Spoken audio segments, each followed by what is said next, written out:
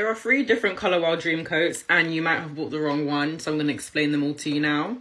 This is the original, but this is a mini one. You can tell it's the original because it's got black writing and a white cap.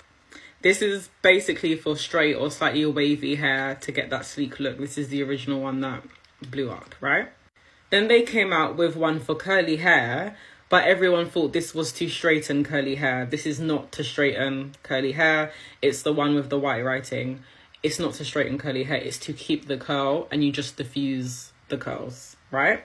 And then this one, black writing again, but also black cap, and it says extra strength.